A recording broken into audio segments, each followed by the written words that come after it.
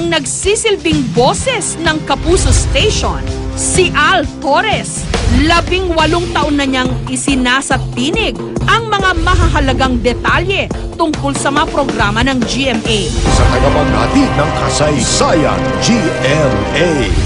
Pero Hunyo nung nakaraang taon, nung nagpasya si Al na manirahan sa Canada, kasama ang kanyang buong pamilya.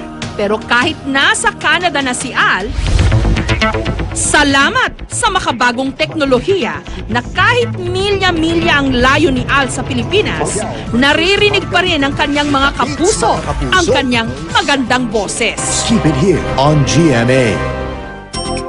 28, 30, 40 scripts in a day. I record each one.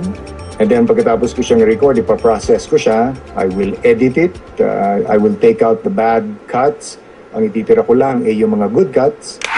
May drama, Magtatagpo na kaya ang mga landas ni na Ina at Lyndon? Abangan sa Dwarfina. pakwela, Kaibigan? O kaibigan? Pero sabi nga nila, a picture paints a thousand words. Kaya palang dali nilang ispelengin. Ikaw na ang maging bubble gang. at kung ano-ano pang emosyon. Sa mga kuha nila, matatakam ka. Sabado sa Kapuso Mo, Jessica Soho. alam mo kagad unang timbre pa lang niya yun. Unang kumbaga sa kanta, unang note po lang, unang note pa lang ng kanta, alam mo kagad na, oy, GMA yun.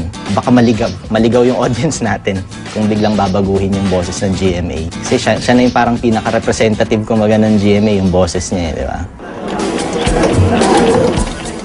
Lahat tayo biniyayaan ng kanya-kanyang boses.